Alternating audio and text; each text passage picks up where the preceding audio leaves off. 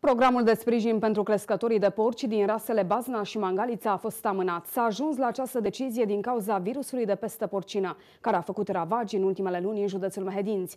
Reprezentanții Direcției Sanitar-Veterinare și pentru siguranța alimentelor spun că momentan este mai bine ca programul să stagneze. Pentru prevenirea extinderii virusului de pestă porcină s-a luat hotărârea ca programul de sprijin pentru crescătorii de porcine din rasele Bazna și Mangalița să stagneze pentru o perioadă. În urma focarilor de pestă porcină care s-au înregistrat în special în județul Dolj, acolo aveam noi eh, unul din furnizori și procesatorul care făceau parte din eh, ciclul eh, programului Mangalița-Bazna. Mai există în județul Mehedinț un uh, furnizor de purcini uh, lângă localitatea Străhaia.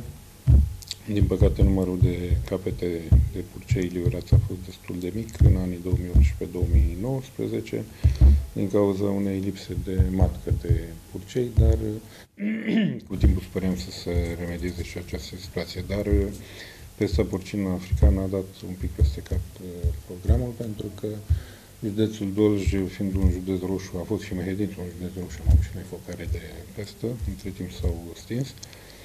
Nu permite circulația animalelor vii și atunci programul a stagnat.